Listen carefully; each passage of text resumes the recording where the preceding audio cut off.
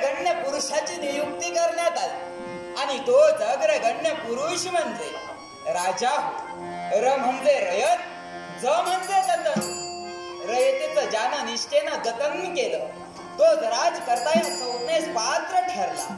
आणि म्हणूनच या माझ्या राज्याची क्षत्र कामरा हाती धरली. न्यायाचा न्यायदंड हाती धरून लाख माय माऊलीच्या संरक्षणा संरक्षणाप्रित्यार्थ राजा सुवर्धन सदैव प्रयत्नशील आहे.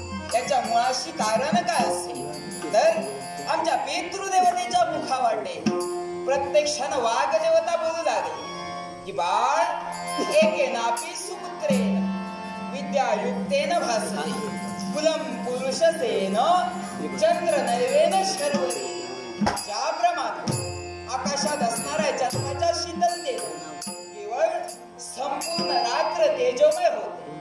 तद्वत एका विद्यावंत पराक्रमी पुत्राच्या योगे.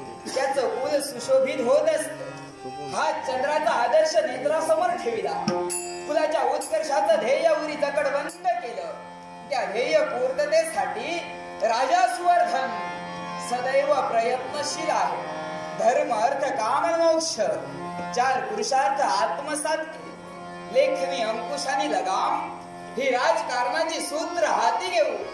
तमा माय माऊलींना योग्य तऱ्हेनं न्यायदान करण्यासाठी आम्ही सिद्ध ठरलो. देणे करूवी न्यायाच्या ठिकाणी केव्हाही आम्ही अन्याय केला नाही.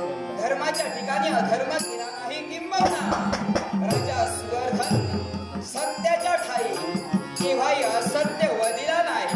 देणे करवी माझ्या या मिथिले धेनवन व्याघ्र नकुलानी सर्प हे पारंपरिक वैरी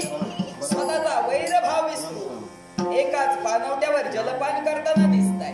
देवा तुझ्या चरणी एकच मागणं मागू इच्छितोय. माझ्या लाख प्रजाजनांना सुखी ठेव. एवढी सविनय प्रार्थना सविनय प्रार्थना. मानवतेला